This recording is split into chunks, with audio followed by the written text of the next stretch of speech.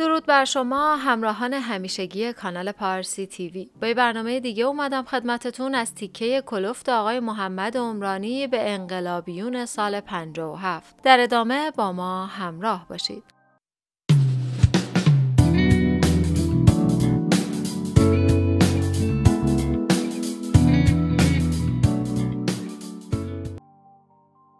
لطفا از پایین همین ویدیو عضو کانال ما بشید و با زدن زنگوله زودتر از ویدیوهای جدیدمون با خبر بشید.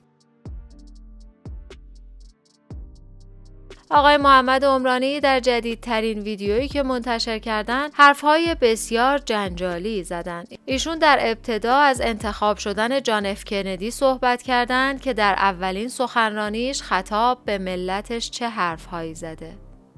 میگن وقتی جان اف کندی به ریاست جمهوری برگزیده شد در سخنرانی آغاز به کارش خطاب به ملت گفت نپرسین کشورتون برای شما چه خواهد کرد؟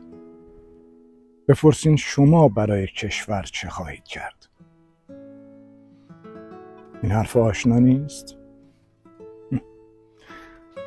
چند سالی که از انقلاب ایران گذشت آقایون انقلابیون در جواب منتقدین می‌گفتن نپرسین انقلاب برای شما چه کرده؟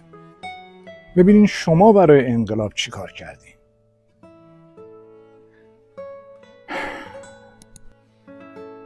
و حالا که چند دهه از این انقلاب گذشت بد نیست ما ایرانیا با خودمون مرور کنیم که این انقلاب چه بر سر ما و کشور عزیزمون آورده.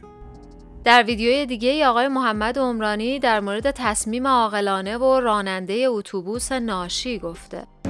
ببین قضیه خیلی ساده است. توی اتوبوس نشستین دارین میرین مسافرت. یه خورده که میرین متوجه میشین راننده رانندگیش خوب نیست. اصلا رانندگی بلد نیست. شاید اصلا گواهی نامه نداره. خب چیکار می‌کنین؟ ماشین متوقف می‌کنین دیگه. خب بعد چیکار می‌کنین؟ شاگرد شوفر پیاده می‌کنین یه شاگرد شوفر دیگه استخدام می‌کنین. عجب ایشون در جدیدترین ویدیوشون در مورد انتخابات دروغین حکومت ایران حرفهای بسیار جالبی زدن و گفتن 45 ساله که ما مردم نقش سکه رو بازی می‌کنیم. یک کیک بزرگ رو میز هست. یه نفر سمت راست میز نشسته یه نفر هم سمت چپ.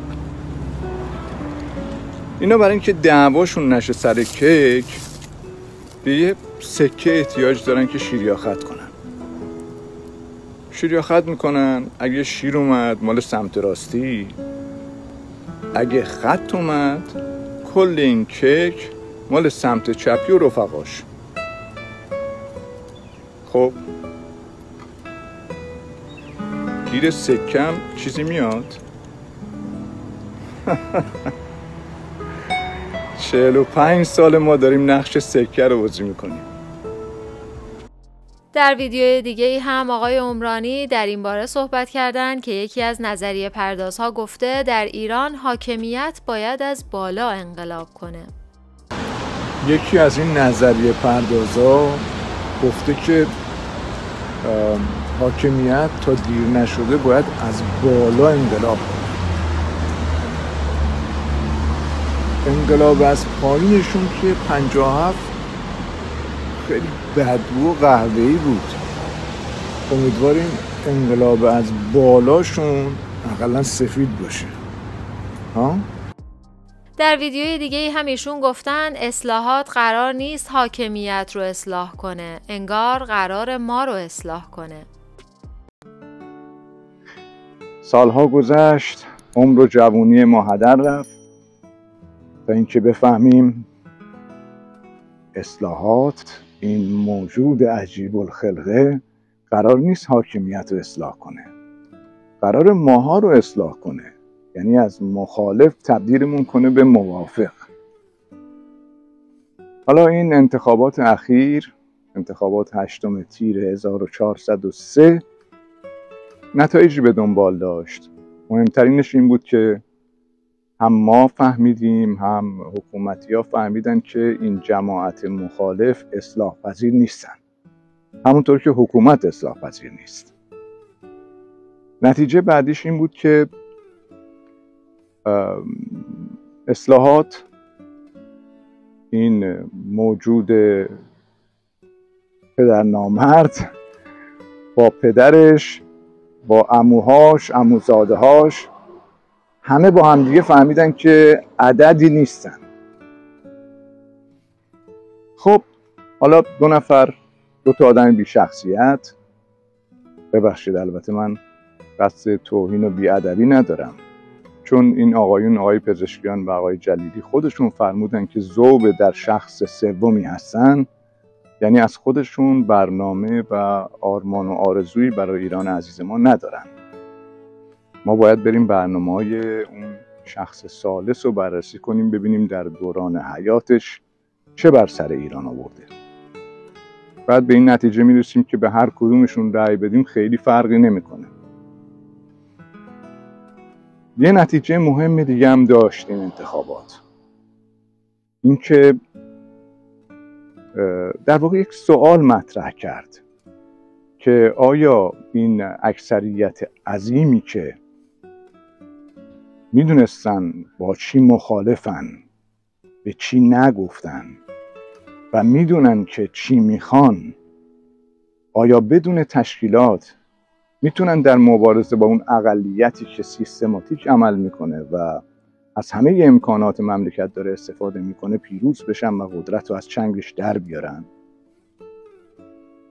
پاسخ شما به این پرسش برای منم خیلی مهمه. آقای عمرانی در این ویدیو هم درباره حاجی بودن و مکه رفتن خودش گفته.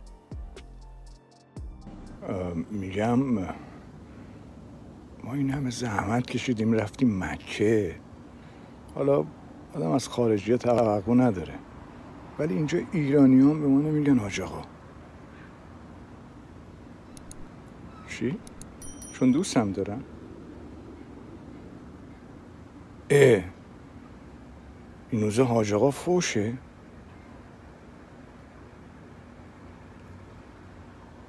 همه مفسدین اقتصادی و راندخوار حاج عجب.